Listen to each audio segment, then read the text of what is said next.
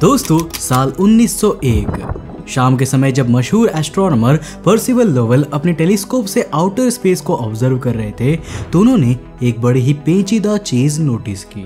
उन्होंने ये देखा कि जब बाकी के सभी ग्रह अपने अपने रेस्पेक्टिव ऑर्बिट्स में धरती के चारों ओर चक्कर लगाया करते थे, तब उनके पाथ्स में किसी भी तरह का बदलाव नहीं होता था।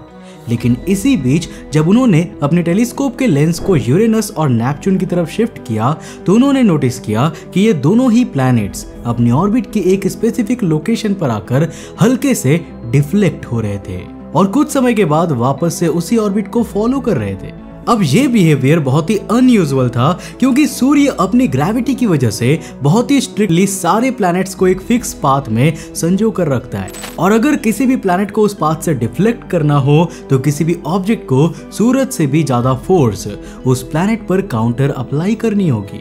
अब जब लोवेल ने इसी बदलाव को नोटिस किया तो उन्होंने अपने मन में ये धारणा बना ली कि नेपच्यून के पास भी एक ऐसा ही मैसिव और मिस्टीरियस प्लैनेट मौजूद है, जिसकी ग्रेविटी इतनी स्ट्रांग है कि वो सूरज के इफ़ेक्ट को भी ओवर पावर कर सकता है। और अपनी इसी काल्पनिक प्लैनेट को उन्होंने नाम दिया प्लैनेट एक्स अब दोस्तों, क्या है ये प्लैनेट एक्स वैज्ञानिक इसे कभी ढूंढ पाए भी या नहीं? और आखिर इसका मिलना हम इंसानों के लिए सदियों बाद भी इतना ज़रूरी क्यों है? आज के इस वीडियो में हम इसी के ऊपर डिस्कस करने वाले हैं। तो हेलो गाइस मैं हूँ कौशिक और चलिए खोजते हैं प्लैनेट एक्स को। दोस्तों, अब लोवल के पास अच्छा खासा पैसा मौजूद था, जिस वजह से प्लैनेट एक्स के बारे में खोजबीन शुरू करने के बाद उन्होंने एरिजोना में एक ऑब्जर्वेटरी का निर्माण करवाया और वहाँ पर उस समय के सबसे बेस्ट टेलीस्कोप को इंस्टॉल करवा दिया।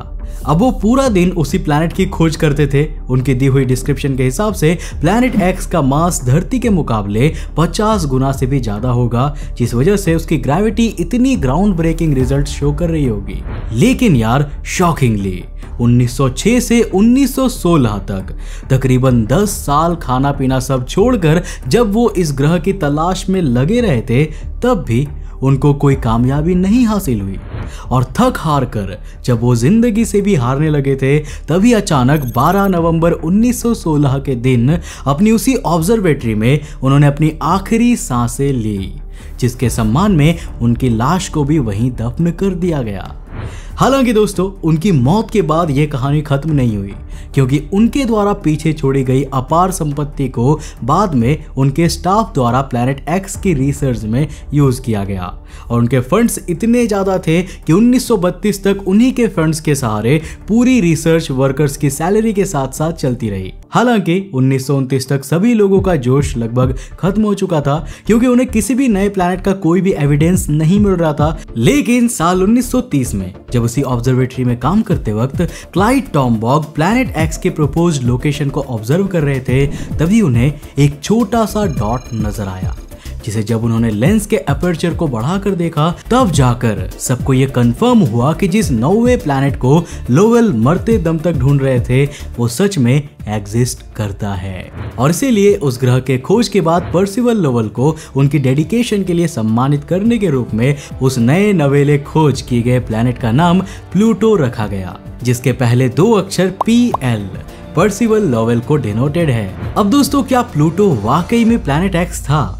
इसके बारे में चलिए आगे जानते हैं। दरअसल जब 1930 में प्लूटो को डिस्कवर किया गया था, तब किसी को भी उसके साइज़ और मास के बारे में इतनी ज़्यादा नॉलेज नहीं थी, जिस वजह से सबने यही सोचा कि जिस मैसिव और डिस्ट्रक्टिव प्लैनेट एक्स के बारे में पर्सिवल लोवल बता रहे थे, वो प्लूटो ही है। और इस बात पर पाँच दशकों तक लोगों ने आँख मूंद कर यकीन भी किया। लेकिन सिर्फ़ तब तक, जब तक कि शैरोन की एंट्री नहीं हुई। 22 जून 1978 के दिन, जब यूनाइटेड स्टेट्स नेवल ऑब्जर्वेटरी के एस्ट्रोनॉमर्स जेम्स क्रिस्टी करीब दो महीने पुरानी प्लूटो की हाईली मैग्नीफाइड इमेजेस को फोटोग्राफिक प्लेट्स पे रखकर स्टडी कर रही थी, तब उन्होंने एक स्लाइट इलोंगेशन नोटिस की, जो प्लूटो के चारों ओर किसी कॉस्मिक बॉडी के होने का संकेत दे रही थी। जिसके बाद जब 1965 से 1978 तक की रिलेटेबल इमेजेस को कंपेयर किया गया तो फाइनली 7 जुलाई 1978 के दिन नासा ने ऑफिशियली प्लूटो के शैरोन मून की कंफर्मेशन दे दी। और यहीं से शुरू हुआ प्लैनेट एक्स का फ़ेज़ टू दोस्तों, जब शैरोन की खोज की गई तो वैज्ञानिकों के डेटा में काफ़ी सारी नई वैल्यूज़ ऐड हुई। जिसके बाद मैथमेटिकली ये पता चला कि जिस प्लूटो को सब लोग धरती हिला देने वाली तोप समझ रहे थे, उसी प्लूटो का मास तो पृथ्वी के मून लूना का भी वन बाई सिक्स है। यानी टेक्निकली देखा जाए तो वो हमारे चंद्रमा से भी काफ़ी ज़्यादा छोटा है। और ऐसे में सीधा नेपच्यून को उसके ऑर्बिट से डिफ्लेक्ट कर देने की बात तो हद से ज़्यादा अविश्वसनीय हो गई थी। अब इस खोज के बाद फिर धीरे धीरे प्लूटो की किस्मत इतनी खराब निकली कि पहले उसका प्लैनेट एक्स का दर्जा छीन लिया गया और फिर उसे सीधा सोलर सिस्टम से ही बाहर निकाल दिया गया। हैशटैग जस्टिस फॉर प्लूटो लेकिन दोस्तों, इस मिसकंसेप्शन के दूर होने के बाद वैज्ञानिकों के मन में फिर से वही सवाल आकर खड़ा हो गया कि आखिर जिस प्लैनेट के एग्जिस्टेंस का लोवेल दावा कर रहे थे, वो प्लैनेट गया कहाँ? And here comes the phase three of our video कि आखिर वो प्लैनेट कहाँ और कैसे हो सकता है? वेल दोस्तों, आज एक सदी से ऊपर बीत जाने के बावजूद अगर हमें वो ग्रह नहीं मिल पाया है तो इस मिस्ट्री को सॉल्व करने के लिए केवल दो ही पॉसिबल केसेस है। अब पहला तो है ल्यूमिनोसिटी और दूसरा है रोगनेस। अब दोस्तों, हो सकता है कि वो प्लैनेट वाकई में एग्जिस्ट करता हो और हमारे सोलर सिस्टम का हिस्सा भी हो। लेकिन किसी ब्लैक ड्वार्फ की तरह वो इतना ज़्यादा डार्क हो कि उसके सरफेस से रिफ्लेक्ट होने वाली लाइट की मात्रा नियर टू ज़ीरो होती होगी। जिस वजह से कितना ही बड़ा लाइट सोर्स उस पर रोशनी क्यों ना डाले, अगर उस पर से कुछ रिफ्लेक्ट होगा ही नहीं तो ऑब्जर्वर तक क्या ही डिटेल पहुँच पाएगी? और शायद इसी वजह से हो सकता है कि हम अपने किसी टेलीस्कोप में कई बार उसको कैप्चर भी कर चुके हों, लेकिन जस्ट बिकॉज़ वो इतना ज़्यादा डार्क है कि उसकी एग्जिस्टेंस का आइडिया हमें किसी भी नॉर्मल फोटोग्राफ से लग ही नहीं पा रहा है। वैसे, ये एक लॉजिकल रीज़न है कि क्यों हम सोलर सिस्टम में होते हुए भी उसे ढूंढ नहीं पाए। लेकिन दूसरे रीजन के हिसाब से हो सकता है कि प्लैनेट एक्स उस समय तो वहाँ पर मौजूद हो, जब पर्सिवल लोवल अपने ऑब्जर्वेशन कर रहे थे। लेकिन वॉट इफ़ उस सर्टेन पॉइंट ऑफ़ टाइम के बाद वो हमारे सौर मंडल से ही कहीं बाहर चला गया हो? वेल well, कहने का मतलब यह है कि एक पॉसिबिलिटी ये भी हो सकती है कि वो प्लैनेट कोई फिक्स प्लैनेट ना होकर एक रोग प्लैनेट हो। अब जिन लोगों को नहीं पता उन्हें बता दे कि रोग प्लैनेट बेसिकली ऐसे प्लैनेट्स होते हैं जो पूरे यूनिवर्स में बिना किसी स्टार के अधीन हुए लगातार फ्रीली ट्रेवल करते रहते हैं। बिल्कुल किसी एस्ट्रॉइड की तरह। अब उम्मीद करते हैं आपको निबिरू प्लैनेट तो ज़रूर याद आया होगा। अरे, वही ग्रह जिसके बारे में हमने आपको अपने अनुनाकी वाले वीडियो में बताया था, जहाँ से आज से तकरीबन लाखों साल पहले किसी एडवांस सभ्यता के लोग सोने की तलाश में यहाँ धरती पर आए थे। लेकिन बेबीलोन के मासूम लोगों ने उन्हें भगवान मान लिया था।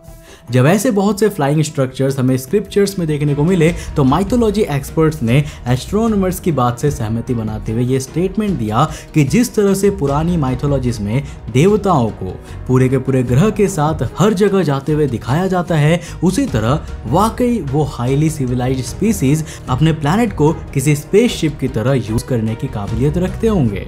आफ्टर ऑल टेक्नोलॉजी इतनी एडवांस होती जा रही है कि आज के समय में किसी भी चीज़ को असंभव कहना गलत नहीं हो सकता।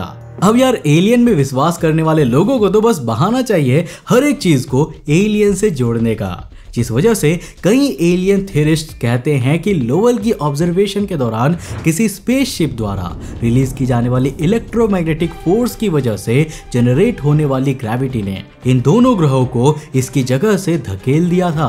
लेकिन पता नहीं क्यों हम इस पर यकीन नहीं करते, क्योंकि इस नॉर्मल से टर्म को एक्सप्लेन करने के बहुत से तरीके हैं। अब दोस्तों, ऐसा नहीं है कि हमने जुपिटर से ताकतवर ग्रहों को नहीं देखा या ऐसे ग्रह रोग प्लैनेट्स नहीं बन सकते। बस हो सकता है कि पर्सिवल की रिसर्च के वक्त ऐसा कोई प्लैनेट यूरेनस और नेपच्यून के बीच से ही गुजर रहा होगा। जिस वजह से उसके स्पॉन्टेनियस ग्रेविटेशनल इफ़ेक्ट की वजह से ये दोनों प्लैनेट्स अपनी ऑर्बिट से डिफ्लेक्ट हुए होंगे। लेकिन वैसा ही इंसिडेंट दोबारा कभी इसीलिए नहीं हुआ या फिर वो पावरफुल प्लैनेट हमें कभी इसीलिए नहीं मिल पाया क्योंकि सिंपली वो हमारे सौर मंडल से कहीं दूर चला गया होगा। अब दोस्तों प्लैनेट एक्स के किसी रोग प्लैनेट होने के ज़्यादा चांसेस इसीलिए भी है क्योंकि जब साल 2016 में कॉन्स्टेंटीन बैटिगन और Michael Brown extreme trans Neptunian objects यानी कि ऐसे ऑब्जेक्ट्स जो नेपच्यून के भी बहुत ज़्यादा बियॉन्ड एग्जिस्ट करते हैं, उन पर स्टडी कर रहे थे तो उन्होंने नोटिस किया कि यूरेनस और नेपच्यून के ही पाथ में आगे मौजूद सूर्य के ही चक्कर काटने वाले कुछ कॉमेट्स और कॉस्मिक ऑब्जेक्ट्स के ऑर्बिटल पाथ में भी कंटिन्यूस इरेगुलरिटीज रिकॉर्ड की गई थी, जो केवल किसी आउटर फोर्स की वजह से ही पॉसिबल थी। और इस छोटी सी डिटेल से रोग प्लैनेट की पॉसिबिलिटी इसीलिए भी बढ़ गई, क्योंकि रोग प्लैनेट अगर उसी पाथ को फॉलो करके आगे बढ़ रहा होगा तो उसने अपना प्रभाव अपने रास्ते में आने वाली हर एक चीज़ पर दिखाया होगा। और इन ऑब्जेक्ट्स में नोटिस की गई ये ऑर्बिटल इरेगुलरिटीज इस चीज़ का सबूत है कि इन पर भी वो लक्षण देखे गए थे। जिसका दावा लोवेल ने यूरेनस और नेपच्यून के ऊपर होने का किया था। वैसे दोस्तों, आपके हिसाब से प्लैनेट एक्स कोई रोग प्लैनेट है या फिर कोई एलियन का स्पेसशिप है? या फिर कोई इतना ज़्यादा डार्क वर्ल्ड जिसे हम ऑब्ज़र्व नहीं कर पा रहे हैं क्योंकि वो लाइट को रिफ्लेक्ट करता ही नहीं है? अपनी राय हमें नीचे कमेंट करके ज़रूर बताना। दोस्तों, मुझे उम्मीद है कि आपको ये वीडियो ज़रूर पसंद आएगा। अगर पसंद आया तो ये वाले वीडियो भी आपको ज़रूर पसंद आएँगे, ज़रूर जाकर देखना। दोस्तों, नए हो तो इस चैनल को सब्सक्राइब करने के साथ साथ नोटिफिकेशन बेल कर देना ताकि आप देख सको हमारे वीडियो सबसे पहले। तब तक ले बाय जय हिंद।